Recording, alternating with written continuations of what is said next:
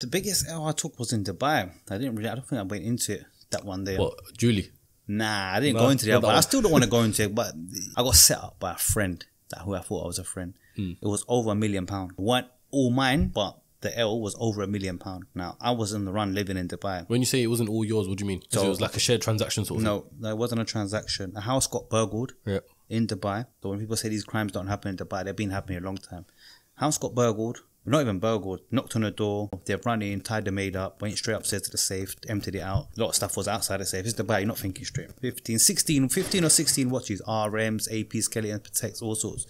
And those who are watching this that know me, they know this is true story. This is the big thing. I didn't know at the time who it was. Called the police. This So is what, was it your yard or something? No, the good friend of mine's house. I was on the run. Yeah. So I would keep all my prized possession valuables at my friend's house. Hmm. It was like my Oh, brother. okay. So that's So how his house got targeted. Yeah. And his house got targeted